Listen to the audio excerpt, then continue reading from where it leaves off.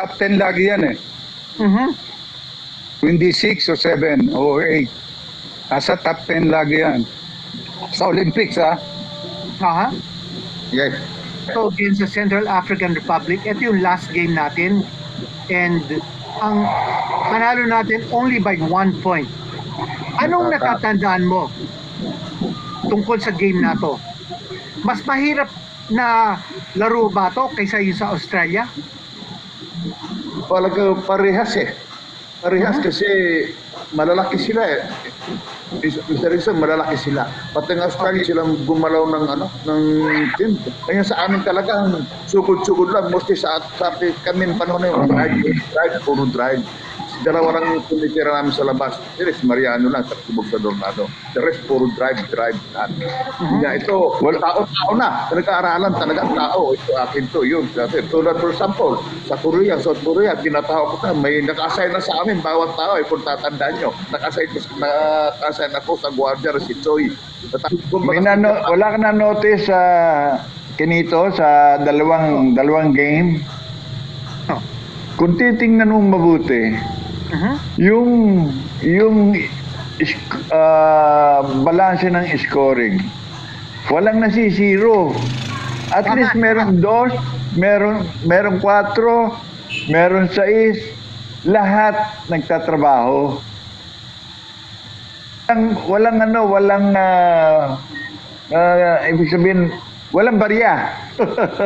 Mhm. walang, walang barya sa team. Aha.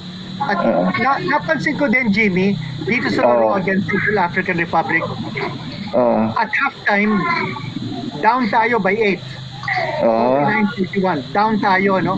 Um, uh, anong klaseng commitment, anong klaseng laro ang ginawa natin sa second half para naipanalo natin itong, itong laro? Anong motivation ng team? Siguro nagbigay ng motivation doon yung talagang uh, nainta kami sa isang lugar or na nagkasama-sama kami for a long time. Kaya alam na namin ang mga kilos ng bawat isa. Mhm.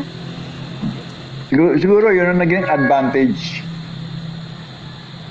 Ah, Kasi kung kung is- isang linggo mo lang pinorm yan o ah, two weeks, hindi magkaagano ng performance namin eh. Mahirap, mahirap. Ah, One y- yung nga sabi mo kanina, no, Yoyong, um, Yes. yung preparation time. Yes. Pagkatapos ng Oo. 73, nung naipanalo natin yung Asian Championship, intact yung team. yes. One year of Ah, preparation, halos hindi nga kayo nakalaro sa mother team nyo sa Mika, no? totoo yun. Oo, tama yun. Kasi God, Oo. kami, Pero ngayon, may PBA, nagkakaroon ng malaking problema kasi yung mga teams, eh, kailangan doon maglaro yung mga player. Ito sa ating ah, Gilas team ngayon, na ito, parating na nga ang FIBA World Cup, ang preparation time nila, halos sa ano eh, mga Balik- ilang linggo lang. Masikip. Ilang linggo lang. Oo, Masikip. tapos yung Jordan Clarkson galing ah, NBA, correct. halos kararating lang si Kai Soto, ganun din. Um, Scotty Thompson, ganun din. Para, wala, so si Scotty Thompson nagkaroon ng injury, no? Yes. So, matagal na hindi nakaka-practice. Correct, Pero, iba na din yung level ng basketball ngayon. No? Parang mas madali sila nakaka-adjust. Pero, nothing beats yung being together. Di ba? Yun yung Yeah, Oo, oo. Good. Malaking factor yun talaga. At saka, malaking factor yung na, nagkakasama-sama. Yes, oo.